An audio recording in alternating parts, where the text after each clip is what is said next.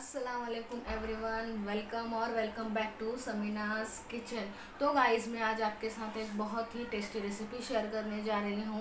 बहुत ही इजी तरीके से। और आज की रेसिपी में हम ऑयल का थोड़ा भी इस्तेमाल नहीं करने वाले हैं। विदाउट ऑयल में आज आपको सुरमई की फ़िश करी कैसे बनाना है वो बना के बता रही हूँ। तो आप ज़रूर ये रेसिपी ट्राई कीजिए। और गाइस अगर आपको मेरी रेसिपीज़ पसंद आ रहे हैं तो प्लीज़ मेरे चैनल को शेयर एंड सब्सक्राइब करना ना भूलिए। तो चलिए हम देखते हैं हमें इनके लिए किन किन चीज़ों की ज़रूरत है, आइए।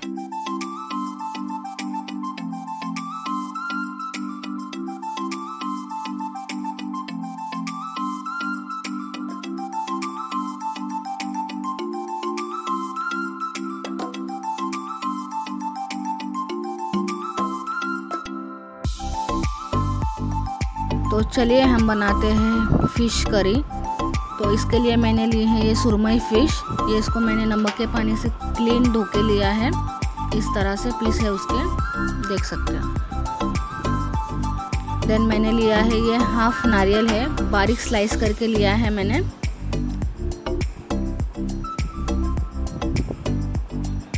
देन ये हाफ़ जिन हाफ़ इंच जिंजर है। देन ये गार्लिक है, तीन पीस ऑफ़ गार्लिक और ये ओनियन एक ओनियन है मीडियम साइज़ ओनियन उसको मैंने ऐसे स्लाइस करके कट कर लिया है. और ये धनिया है फॉर डेकोरेशन ये कश्मीरी लाल मिर्च है. ये तीखी नहीं होती है, बस कलर के लिए होती है. तो ये मैंने फाइव टू सिक्स लिए हैं. देन ये धने हैं. चार टेबलस्पून धने हैं. देन इमली है, दो टेबलस्पून ये हाफ़ टेबल स्पून हल्दी है, ये एक टेबल स्पून ऑफ़ लाल मिर्च है, ये तीखी लाल मिर्च है, और ये टू और थ्री कोकम है, और सॉल्ट एज पर टेस्ट तो हमें इतनी ही चीज़ों की ज़रूरत है और हमारी कड़ी रेडी हो जाएगी। बहुत जल्दी रेडी होती है। देखिए अब हम इस सब चीज़ों को ग्राइंड कर लेंगे एक साथ।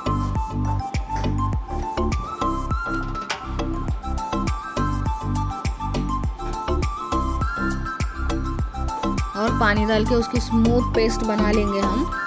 सारी चीज़ें मैं एक साथ ही डाल रही हूँ।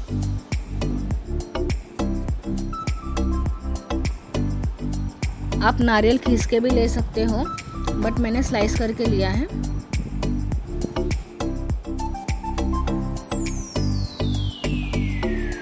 ज़्यादा मसाले भी लगते नहीं है इस करी में और बहुत टेस्टी बनती है।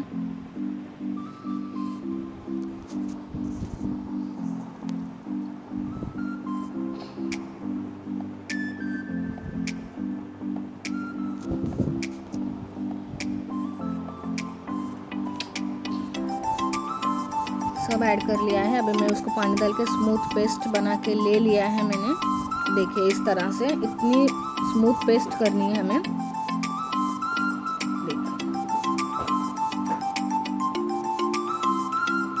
अब हम एक पैन में उसको ऐड कर लेंगे। देखिए, मैंने पैन में थोड़ा भी ऑयल नहीं ऐड किया है।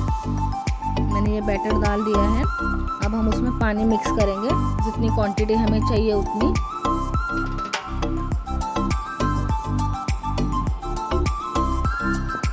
ज़्यादा थिक भी नहीं रखनी है। उसको अच्छे से पकाएँगे हम 10 मिनट इसको पकाएँगे मीडियम फ्लेम पे।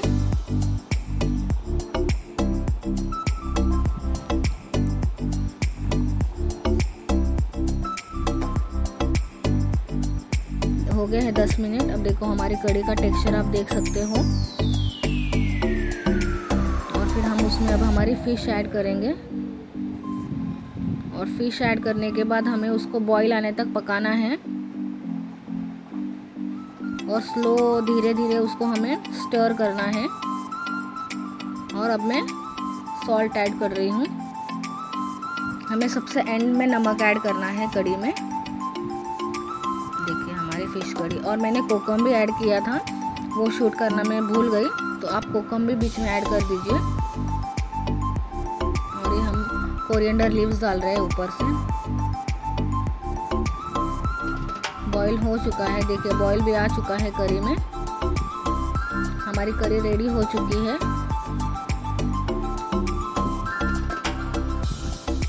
देख सकते हो आप। तो अब चलिए, देखिए, हमारी करी हो चुकी है रेडी। मैं अब आपको सर्व करके बताती हूँ। देखिए इसमें हमने ऑयल का थोड़ा भी इस्तेमाल नहीं किया है और हमारी कड़ी का टेक्सचर देखिए।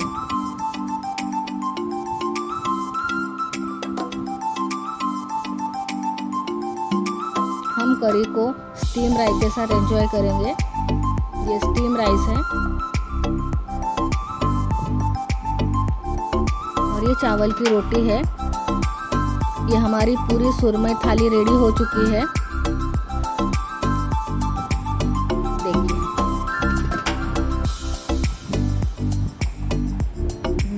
टेस्टी बनती है तो आप लोग प्लीज़ इसको ट्राई कीजिए घर पे।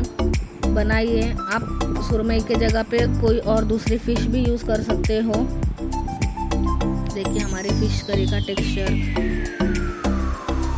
ये सुरमई फ्राई है, रवा फ्राई की है मैंने, और ये चावल की रोटी है। तो इस तरह से हमारी ये डिश रेडी हो चुकी है।